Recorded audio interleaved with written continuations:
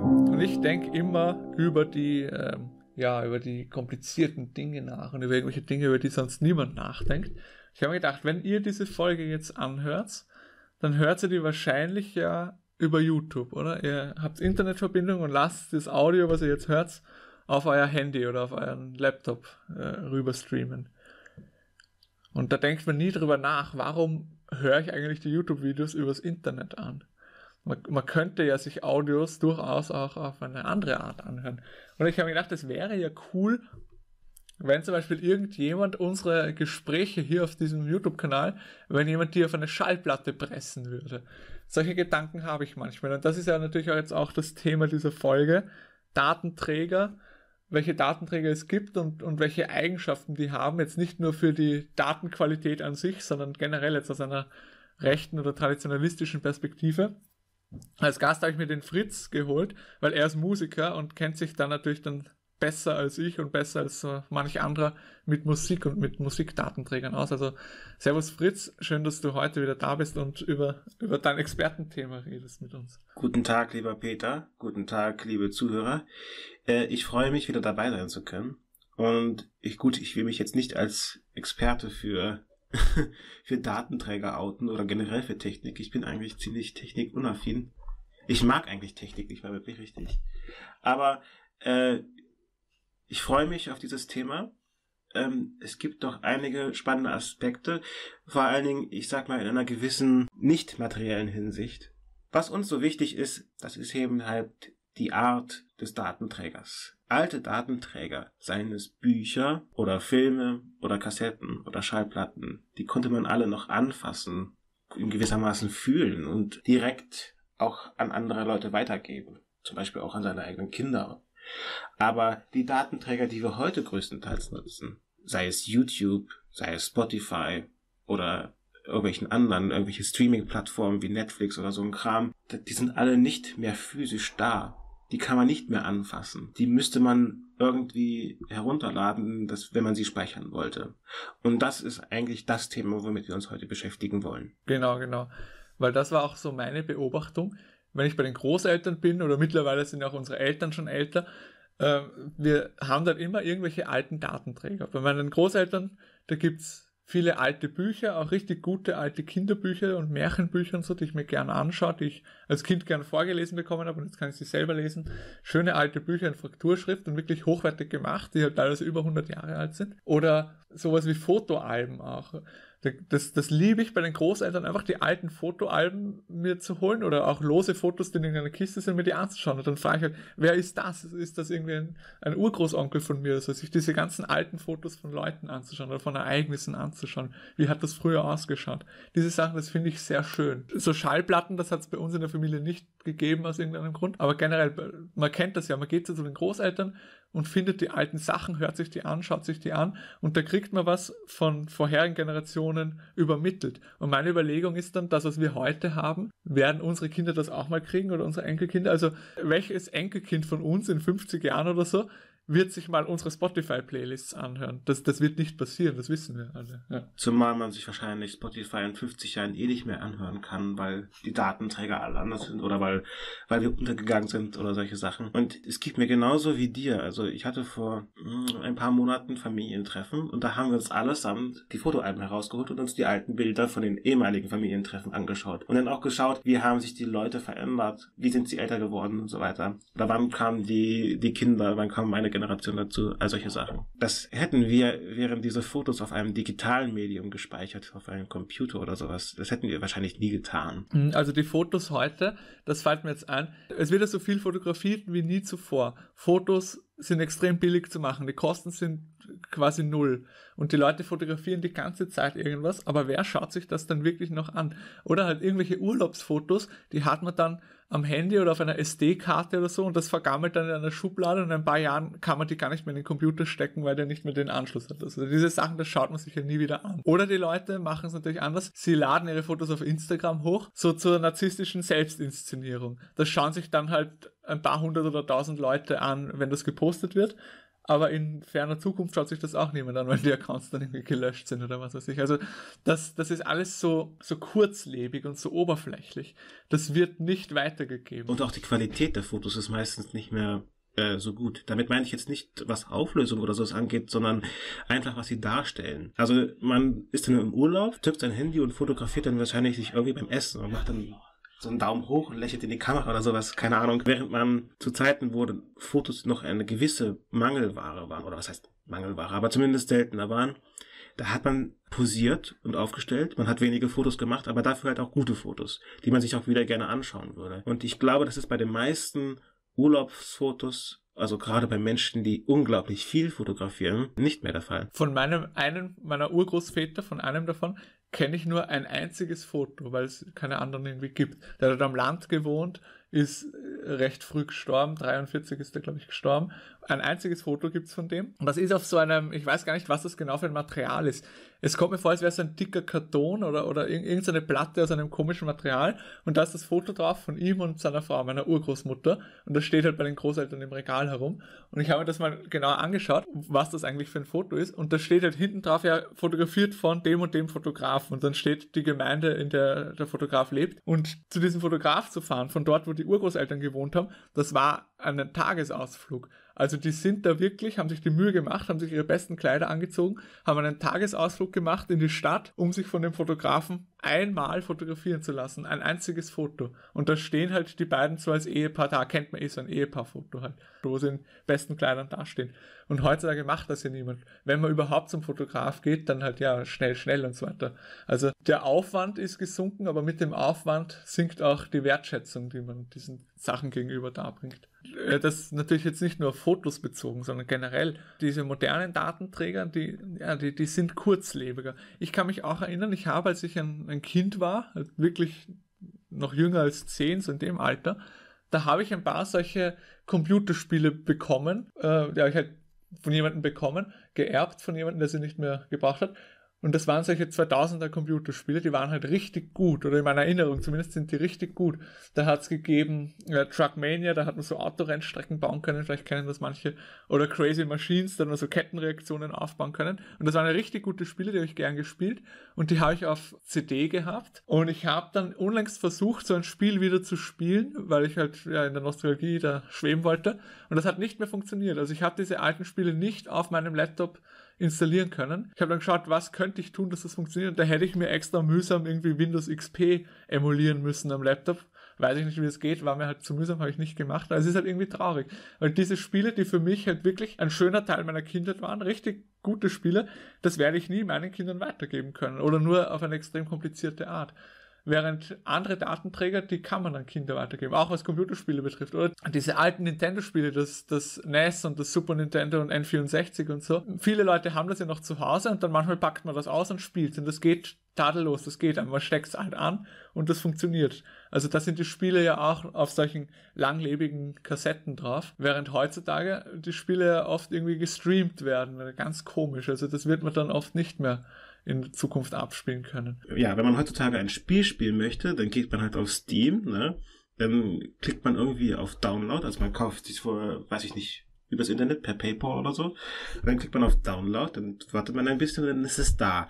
Also man hat ja keinen physischen Datenträger mehr, den man irgendwie im Laden kaufen muss oder bestellen muss, sondern man bekommt es direkt aus der Cloud quasi heruntergeladen. Und ich meine, Peter hat ja schon von dem Problem erzählt, dass einige physische Datenträger heutzutage gar nicht mehr abgespielt werden können. Aber wenn wir quasi Steam verlieren oder wenn, wenn Steam irgendeinen Serverfehler hat und es abstürzt, dann sind unsere Spiele einfach futsch. Und ich finde, das ist eigentlich eine ziemlich erschreckende äh, Feststellung. Also natürlich, bei Spielen ist das jetzt nicht ganz so schlimm, ne? denn Spiele sind halt nur Spiele. Aber bei anderen Dingen, wie zum Beispiel Musik oder, oder Filme, da finde ich, hat es eine bedenkliche Auswirkung, wenn man halt seine Musik oder seine Filme nicht mehr auf physischen Datenträgern speichern möchte. Bei Musik fällt uns ja allen ein, äh, der Betreiber Spotify, diese Streaming-Plattform.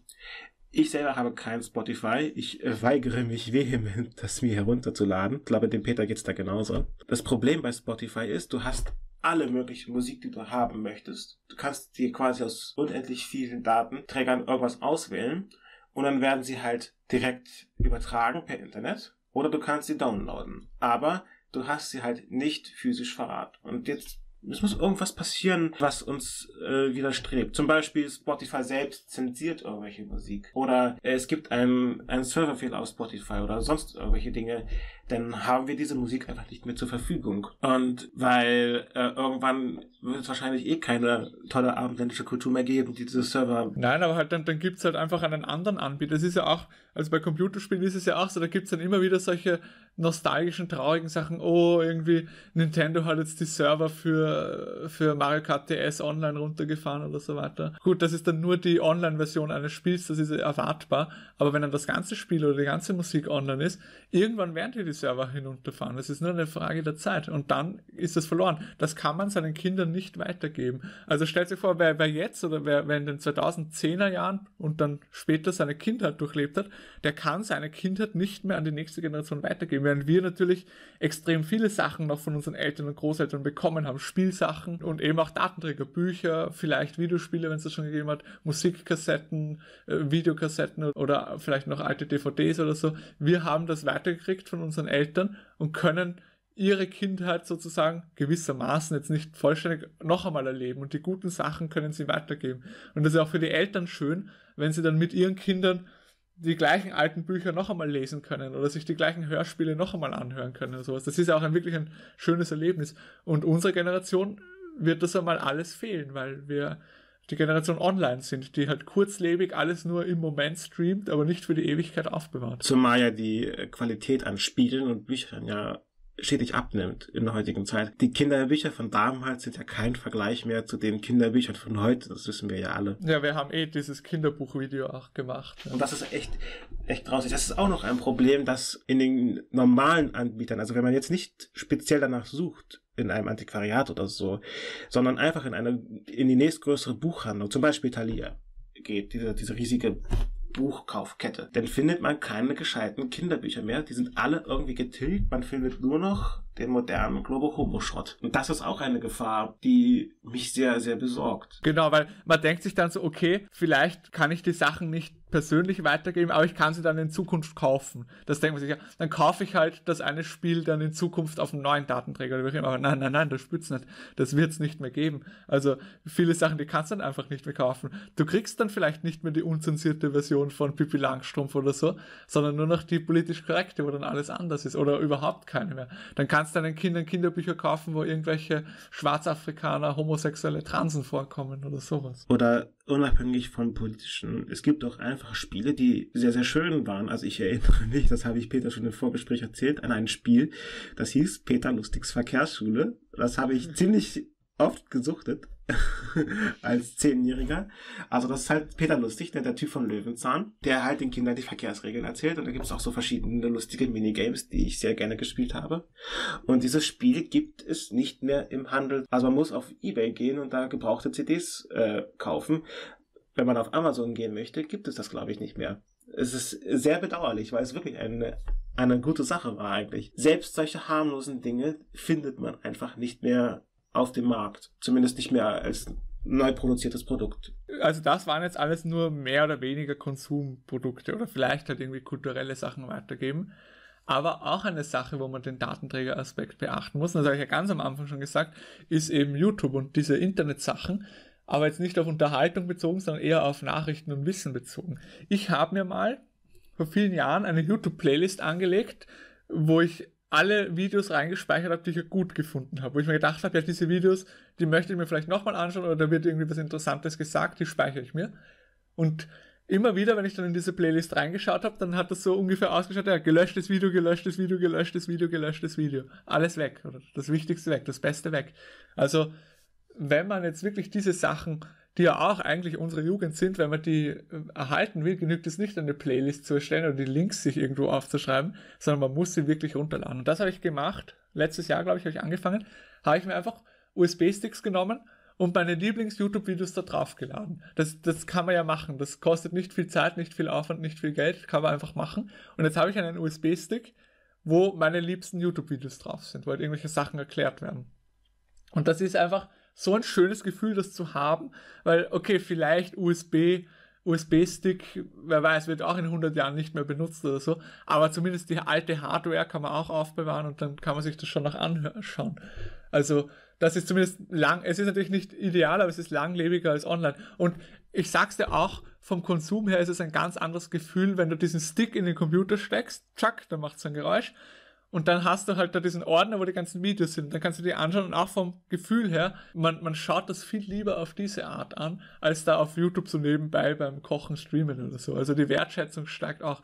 Und gerade was eben dieser Zensuraspekt, der macht das auch wirklich nötig, dass man, dass man diese Videos sichert, weil irgendwann gibt es einfach nicht mehr. Und jetzt nicht nur Videos, sondern generell alles, was ihr denkt, was interessant ist, nicht einfach nur irgendwo den Link speichern oder weiterleiten, sondern runterladen. Auch irgendwelche Nachrichtenartikeln oder so, die schockierend sind oder gute Tweets oder, oder was auch immer. Einfach Screenshot machen und auf einen USB-Stick äh, speichern oder den Text in ein Textdokument und auf einen USB-Stick speichern oder noch besser direkt ausdrucken. Das wäre auch irgendwie cool.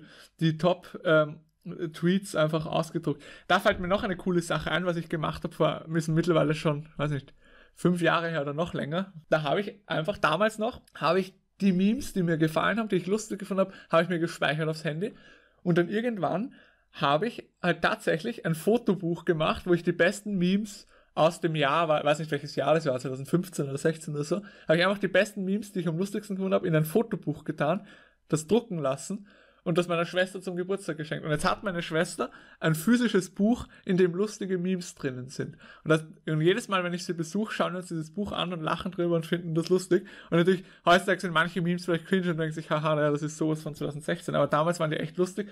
Und das ist auch so interessant, sich dieses Buch anzuschauen, wie haben sich die Memes verändert. Und da sind halt gute Sachen für die Ewigkeit gespeichert. Das Buch werden auch noch unsere Enkelkinder oder meine, meine Neffen und Nichten werden das auch noch lesen.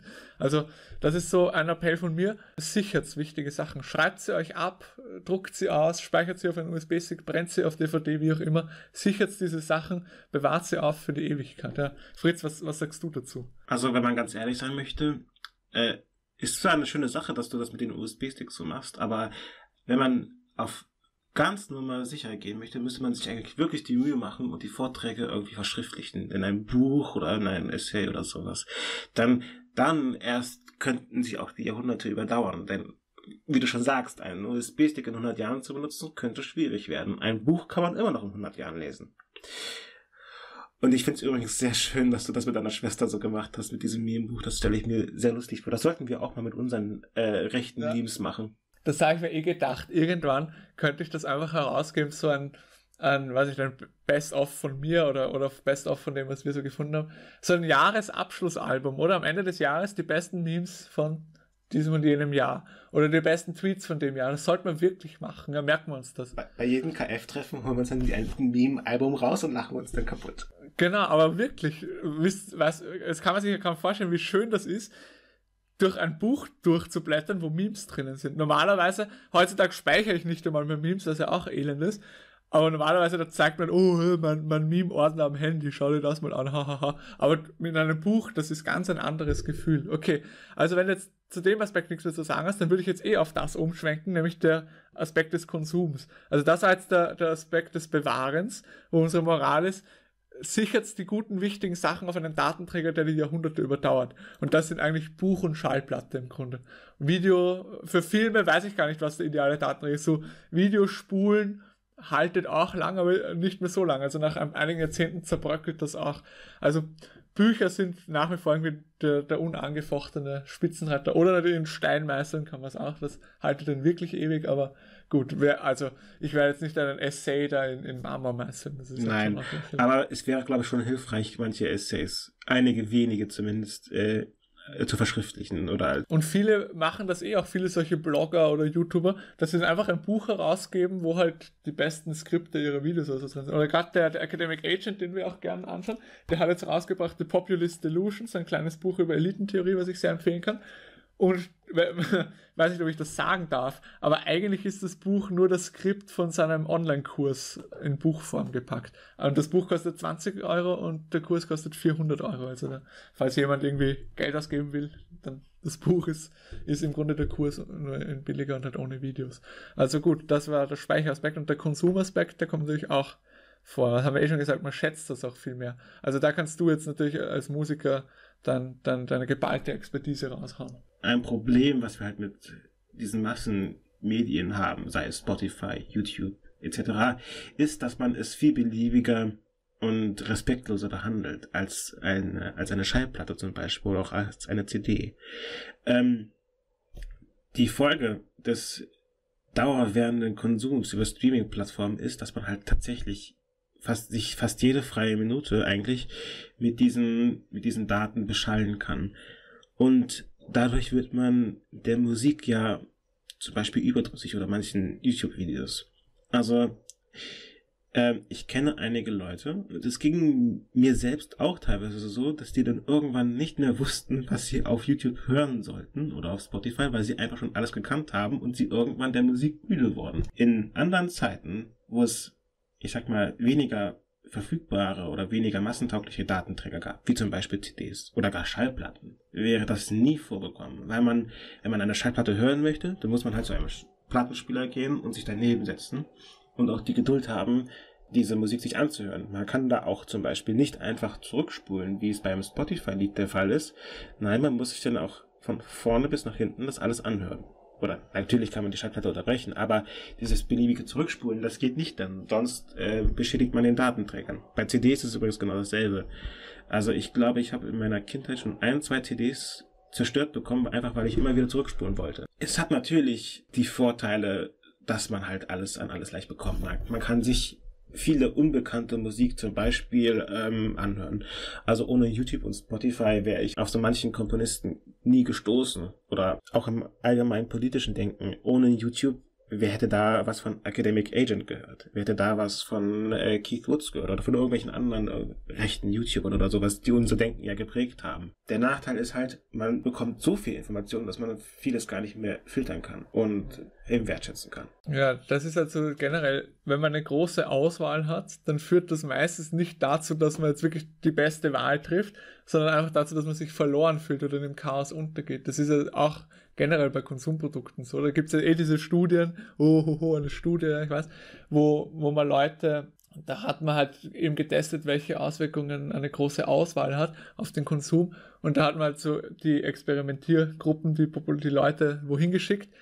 Und beim einen Experiment, da hat es halt nur, weiß ich, zwei Produkte zur Auswahl gegeben und beim anderen zehn. Und das war tatsächlich so, dass die, die eine kleinere Auswahl gehabt haben, mehr gekauft haben. Also diese große Auswahl, die verunsichert hat. Und, aber natürlich, wie du sagst, ist auch ein Vorteil, weil eh ohne Internet wären wir auf so viele Dinge nicht gestoßen. Und man muss das irgendwie schaffen, das zu überbrücken. Einerseits den Vorteil zu nutzen, auf die Dinge zu stoßen, aber dann nicht in der Masse zu ersticken und nicht unterzugehen in der Beliebigkeit. Das finde ich ist halt auch so, was ich schon gesagt habe, auf den USB-Sticks speichern und dann hat man wieder diese Knappheit und dann schätzt man das. Auf einer USB-Stick sind jetzt, was weiß ich, 10 Videos. Größenordnung 10 Videos. Aber es sind halt wirklich gute und ich, mehr als die 10 braucht man im Grunde nicht. Also zu den Themen gibt es ja hunderte, tausende Videos, aber die 10 fassen das, worum es in denen geht, gut zusammen. Da kann man sich auch selber irgendwie eine künstliche Verknappung schaffen, indem man zum Beispiel so Sachen runterladet oder sich aufschreibt oder ausdruckt oder so. Ist natürlich ein schwieriges Thema. Gut, aber red weiter über die Musik, das, das höre ich mir gerne an. Was äh, Musik noch so besonders ist, im Gegensatz zu zum Beispiel zum Film oder zum Video, ist ja die Musik ein Medium, sag ich mal, oder eine, eine Sache, die so alt ist wie die Menschheit selbst. Während der Film erst vor 100 Jahren entwickelt wurde, haben die Menschen schon immer irgendwie Musik gemacht. Also jetzt unabhängig davon, wie gut sie Musik gemacht haben oder was für Musik.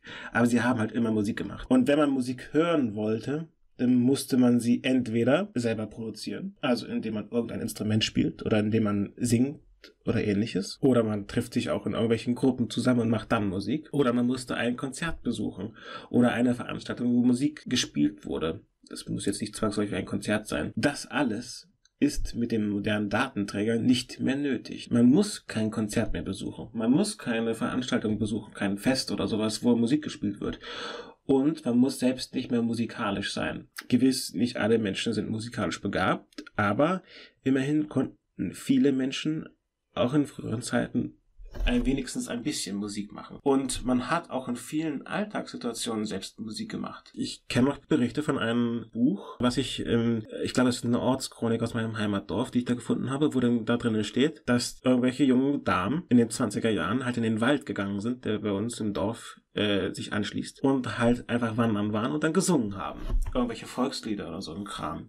Ich meine, das ist jetzt keine, keine großartige Musik, gewiss, aber es ist halt selbstgemachte Musik und es ist Musik, die quasi auch das Gemeinschaftsleben stärkt. Denn das ist ein Aspekt der Musik, den man heutzutage zu unterschätzen droht. Dass Musik in früheren Zeiten nicht nur dazu da war, um sie zu genießen oder um vielleicht Gott zu ehren oder solche Sachen, sondern einfach den Sinn und Zweck hatte, die Gemeinschaft zu stärken. Ähnliches gilt übrigens auch für den Tanz. Der gemeinschaftliche Tanz zur Musik hatte auch was elementar Verbindendes bei Gemeinschaften. Man wurde dann quasi, Achtung, schlimmes Wort, zu einer Art Kollektiv beim Tanzen. Und das ist eine Sache, die man heutzutage nicht mehr hat. Also es ist ganz spannend, das zu beobachten, wie vereinzelt der Tanz immer wurde. Ne? Zuerst Gruppentanz, dann kam der Partnertanz mit einem Menschen und heutzutage tanzen die Menschen für sich alleine machen irgendwelche komischen Bewegungen zu Techno-Musik oder so ein Kram. Was ich damit sagen möchte, ist, genießt Musik nicht nur von euren mobilen Datenträgern. Hört Musik nicht die ganze Zeit auf Spotify oder so, sondern wenn ihr Musik hören wollt, dann besucht vielleicht auch mal ein Konzert oder besucht besucht eine Veranstaltung, wo gute Musik gespielt wird. Also jetzt vielleicht nicht, weiß ich nicht, den Parteitag der FPÖ oder so, wo jetzt irgendwelche Schlager gespielt werden, sondern, sondern halt wirklich gute Musik gespielt wird. Das ist quasi mein Appell. Und was auch ganz wichtig ist, macht selber Musik. Es muss jetzt nicht großartig gut sein, aber beschäftigt euch wenigstens damit und singt mehr. Und vor allen Dingen singt euren Kindern mehr was vor. Also das fängt schon damit an, dass man vielleicht als Elternteil seinen Kleinkindern in den Schlaf singt. Damit fängt schon an. Und das kann man dann weitermachen, indem man mit seinen Kleinkindern irgendwelche Kinderlieder singt, also vernünftige Kinderlieder, jetzt vielleicht nicht, weiß ich nicht, äh, das rote Pferd oder so. Und was auch vielleicht ganz nützlich sein könnte, muss jetzt nicht zwangsläufig sein, aber investiert zumindest in eine gewisse musikalische Bildung eurer Kinder. Also, dass sie zum Beispiel irgendein Instrument lernen. Die sollen jetzt nicht super perfekt, weiß ich nicht, irgendwelche Beethoven-Sonaten vom Klavier spielen sollen, sondern vielleicht reicht es einfach auch, Gitarre zu spielen und dazu zu singen. Das hilft dem gemeinschaftlichen Leben mehr als, als alles andere, als irgendwelche Datenträger, als irgendwelche Musik, die dann aus dem CD-Player kommt oder aus der Musikbox. Das ist quasi mein Appell an euch. Der beste Datenträger ist ja das eigene Gehirn. Ne? Ja, das stimmt halt, stimmt halt wirklich so. In dem Zusammenhang, wenn man schon mal Lieder lernt, ne, dann könnte man auch gleichzeitig Gedichte auswendig lernen. Genau, genau. Ein berühmter Aktivist aus Wien hat das mal gesagt, um der Moderne zu entkommen, sollte man immer ein paar Gedichte ausgedruckt haben und sie dann im Alltag auswendig lernen, wenn man gerade nichts zu tun hat, finde ich auch gut. Oder einer der wichtigsten Tipps, die dieser, dieser Herr S. da gegeben hat in seiner ganz gesamten Karriere. Muss ich ehrlich gesagt gestehen. Genau. Anstatt irgendwie auf Dächer zu klettern, lernen sie einfach Gedichte auswendig. Und auch eine Sache, also mein Appell, eh, legt Datenträger an und auch im eigenen Gehirn natürlich, wie der Fritz sagt, lernt Gedichte und Lieder auswendig, singt auch selber, macht es mit den Kindern und so weiter und legt halt selber Datenträger an, die gut sind. Also legt euch eine Bibliothek an, echt. Kauft euch Bücher, auch besonders natürlich alte Bücher, aber auch neue Bücher von irgendwelchen unabhängigen Autoren oder von so Nischenverlegen, die keiner kennt. Oder Antaios Verlag kann man immer gut bestellen oder Imperium Press oder sowas. Einfach Bücher kaufen. Und da geht es jetzt gar nicht so sehr darum, dass man die auch tatsächlich alle liest, sondern es geht darum, dass man sie hat, dass man was für die Ewigkeit hat, dass man unabhängig ein Informationslager hat, weil wenn du selber eine Bibliothek hast, da ist völlig egal, was gerade die politische Situation ist, da kann die Apokalypse ausbrechen, du hast die Informationen. Das Internet bricht irgendwann zusammen oder kann zusammenbrechen. Webseiten werden zensiert. Vielleicht die öffentliche Bibliothek, die macht einmal zu oder, oder schmeißt wichtige Bücher aus dem Sortiment raus. Aber eure Bibliothek, die kann man euch nicht wirklich wegnehmen. Kauft euch viele Bücher. Da gibt es auch diese Geschichte, der Nassim Taleb hat das, glaube ich, in einem seiner Bücher von Umberto Ecos äh, Bibliothek. Umberto Eco kennt man, so ein italienischer Intellektueller, der halt schon cringe links war, aber auch richtig gebildet und intelligent und interessant. Man kann jetzt nicht zu viel schlecht über den reden. Und der hat eine legendäre Bibliothek gehabt mit, ich glaube, über 30.000 Büchern und dann dann manche naive Leute fragen sich, aber der kann doch nicht die 30.000 Bücher gelesen haben. Und nein, der hat auch nicht die 30.000 Bücher gelesen, weil Umberto Ecos Bibliothek hat nicht den Sinn, dass alle Bücher dort sind, die er gelesen hat in seinem Leben. Die braucht man eigentlich am wenigsten, weil da hat man das Wichtigste im Kopf, sondern seine Bibliothek hat den Sinn, dass er Bücher hat, falls er sie mal braucht. Wenn er mal was nachschlagen will, geht er in seine Bibliothek und dann liest er das Buch, wenn er es braucht. Also der Sinn einer Bibliothek ist, Wissen aufzubewahren und nicht eine persönliche Sammlung zu haben von dem, was man gelesen hat. Also insofern kauft euch Bücher eher mehr als weniger. Ihr müsst sie nicht alle tatsächlich lesen, aber es ist ja wirklich interessant, die mal zu haben. Und ich stelle es mir auch schön vor, wenn ich mal Kinder habe, wenn die dann meine Bibliothek sehen und dann selber anfangen, die Bücher zu lesen. Natürlich die, die Klassiker, die ich schon ihnen empfehle. Und dann vielleicht lesen sie auch etwas aus der Bibliothek, was ich nie gelesen habe. Und dann kann man gemeinsam darüber reden. Also das ist interessant. Also was bei Büchern mir gerade so spontan einfällt, das unterschätzt man vielleicht am Anfang, aber Bücher haben einen gewissen Geruch. Meine Mutter hat mir und meiner Schwester als Kind eines ihrer eigenen Kinderbücher vorgelesen. Das heißt, der Frühling lebt im Apfelbaum. Und das hatte so einen ganz eigenen, muffigen Geruch. Und als ich das irgendwann mal wieder vorgekramt habe, aus dem Bücherregal und aufgeschlagen habe, ist mir dieser Geruch entgegengekommen und sofort war ich automatisch wieder in dieser Kindheit, in dieser Situation, wo mir meine Mutter dieses Buch vorliest. Ich finde, das ist eine Sache, die man zu unterschätzen scheint bei Büchern. Also CDs riechen nicht oder Schallplatten häufig auch nicht und USB-Sticks erst recht nicht. Aber Bücher, Bücher haben einen eigenen, fast individuellen Geruch und wenn man quasi auch den an seine Kinder weitergibt, dann ist das eine tolle Sache. Da fällt mir noch einmal was ein, ja, weil diese diese Datenträger, halt besonders die Bücher, die speichern ja auch Dinge, die gar nicht beabsichtigt sind, wie eben Gerüche oder vielleicht kriegen sie dann irgendwelche Flecken oder so, dann weiß man, ah ja, da habe ich mal meinen Kaffee ins Buch gestellt oder was weiß ich. Und was ich auch richtig cool finde, ist, wenn jemand im Buch selber mitschreibt und unterstreicht und kommentiert. Ich kaufe mir gerne gebrauchte Bücher und manchmal habe ich das Glück, dass ich eins bekomme, wo der Vorbesitzer oder der Vorvorbesitzer äh, selber mitgeschrieben hat oder kommentiert hat oder unterstrichen hat die wichtigsten Sachen. Und das liebe ich. Das finde ich so gut.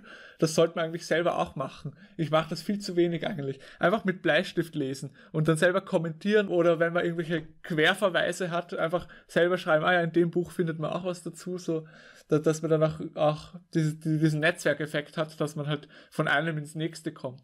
Das finde ich ist auch wichtig. Das ist halt der Vorteil vom Internet, dass du wirklich schnell neue Sachen empfohlen bekommst, während das bei Büchern eher langsam ist. Also da kann man durchaus selber auch Empfehlungen in die Bücher reinschreiben.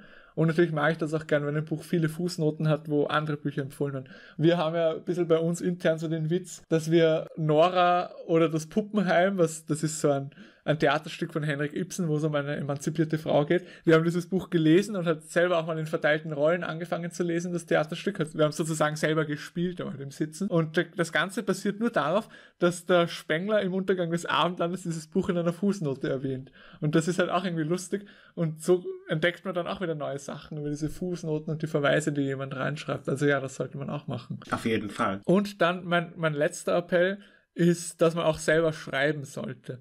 Und nicht nur am Computer, um es in der Cloud zu speichern. Und wenn man schon am Computer schreibt, dann sollten wir es auch lokal speichern und am besten ausdrucken. Aber schreibt es auch wirklich von Hand auf Papier.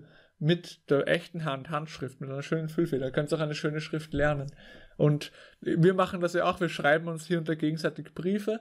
Und ich habe jetzt auch angefangen, mir ein, ja, wie soll man sagen, ein Poesiealbum anzulegen, wo halt auch mal Sachen reinschreiben kann. Das war auch so eine Idee von uns, ein Freundschaftsbuch von rechts zu machen wo wir halt alle ein Freundschaftsbuch ausfüllen, halt unsere rechten Internetfreunde. Und natürlich ein, ein, so ein Kinderfreundschaftsbuch, das ist irgendwie blöd, da werden dann blöde Fragen gestellt, die eigentlich uninteressant sind. Aber Erwachsene haben ja auch sowas. Das nennt sich dann Poesiealbum. Das ist einfach ein Buch, wo jeder, den man mag, kann da eine Seite gestalten oder kann da was reinzeichnen oder reinschreiben. Sowas habe ich mir jetzt auch angelegt, Fritz. Und wenn wir uns das nächste Mal sehen, dann werde ich das auch mitnehmen. Dann darfst du da auch die eine oder andere Seite füllen. Und ich würde mich geehrt fühlen, wenn du mir auch eine Musik hineinschreibst. Also, das sind so unsere, unsere Lehren aus, aus dieser Folge, die Gedanken über die Datenträger.